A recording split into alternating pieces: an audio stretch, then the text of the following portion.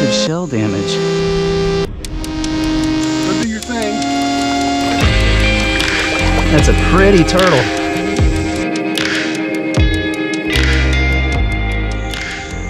All right guys, this is my buddy Jason and uh, we're doing another trap check video. We got a trap right here. Uh, already saw, you can see it's actually moving. Saw the turtle in there, so we're gonna go ahead and get in there and pull this turtle out. Cool. It's always nice when the first trap. yeah.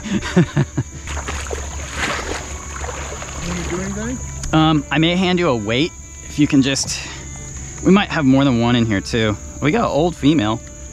See how pretty it is? Oh yeah. But that's max size for a female. All right, so I'm gonna shuffle her to that end, take the weight off, pull this in. There we go. Just pull that in, and then I'll take the trap.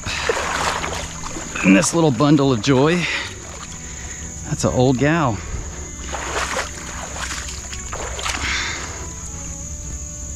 I really like getting these old ones um, because these turtles were here, you know, before this bridge was here. They're so old. So they predate, you know, the development around here, which I think is super cool. Yep. So we got a snapper and a slider.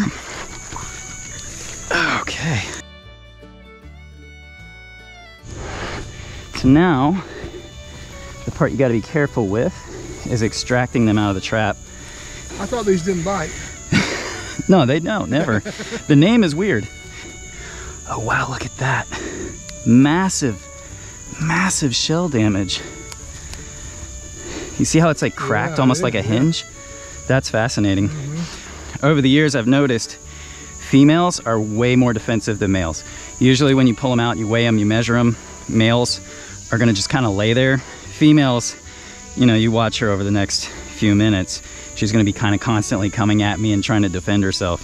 And it's just kind of a weird thing that I've noticed, but um, reptiles have personality. They sure do. She's gonna get really irate here in a second. That's fascinating. I wanna know what happened. Did she get hit by a car or maybe that happened when it was a hatchling or something? Interesting. This is an adult female. That's Yes. about as big as she'll get.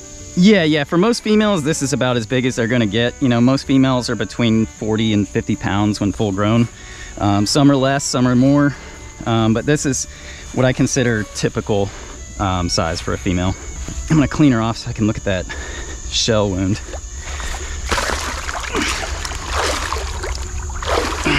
And our Georgia alligator snappers are actually really pretty. They tend to develop this nice yellow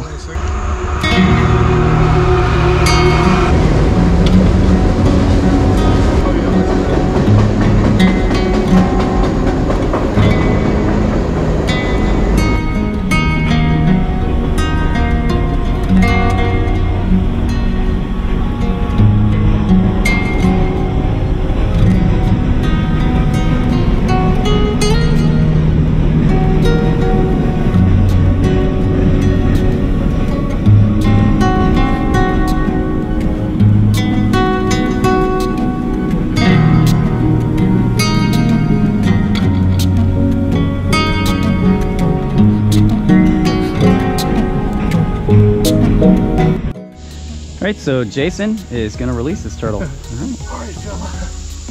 Fella, actually, girl. All right, girl. Go do your thing.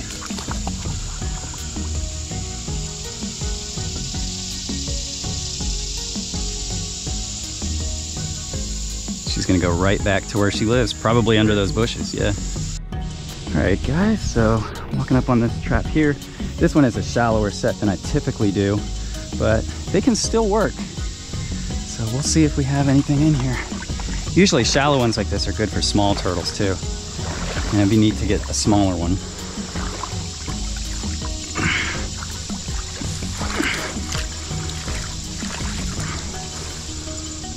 All right, so we got an empty trap, which, yeah, which happens. I knew when I set this one, it was like the odds were like 70 30 in favor of empty. So Are all these uh, upstream from here? there's one more upstream from here.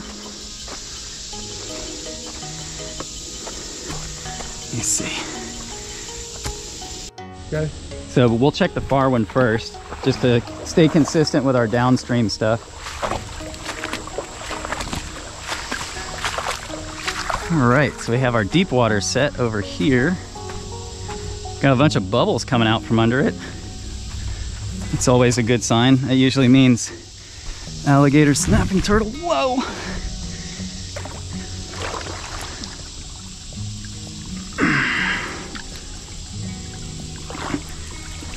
Looks like our bait is intact. Very surprised. I don't see anything in it. But that's just what I can see so far.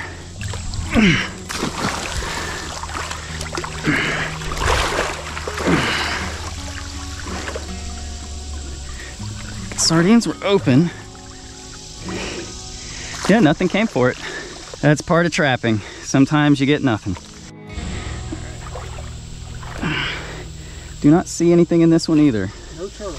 Not that I can tell. Let's see. It's funny, I always want to have a trap right in front of the car and be able to like just pull up and the trap in front of the car has a turtle. Never happens. Yeah, exactly. Never happens. All right, so now we have pulled four traps. We got two left. We got what looked like a big turtle in this one. I saw a huge nose sticking up. I thought it was a log, but I thought it was a log, but and it's crazy. Like the bait's untouched. Go figure. All right, let's take a look. Oh, okay, another little one. That's a pretty turtle. Yep. Yep, keep pulling, keep pulling. Nice. That is a really nice looking one. This is like a whole city of cottonmouths.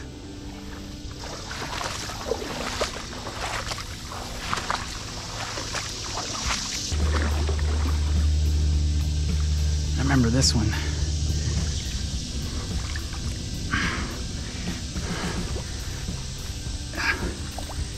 All right, lift it up, nice and high.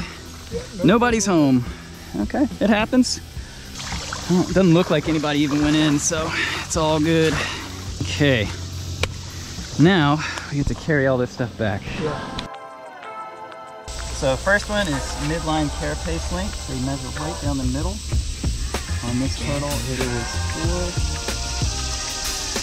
439. Its width how wide this turtle is. 374. Head width, 135. 320. So going by pre-cloacal tail length, this could be a small male.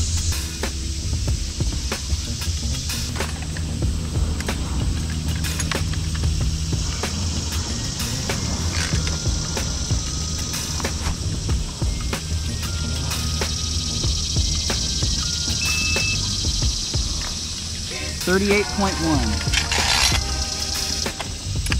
Next thing we're gonna back over. All right, so releasing this snapper. He's getting some underwater footage of this guy. You can see we got like a little section of clear water and the snapper is just kind of navigating it. I'm gonna run interference. Yep. All right, so we're gonna let this turtle go. Thank you guys so much for watching this video. If you like videos like this, make sure you subscribe. Make sure you hit that bell so you know when videos like this come out. Also, subscribe to my friend Jason, Southeastern Reptile Rescue. He does great videos, and I will see you guys next time. Take care. Peace.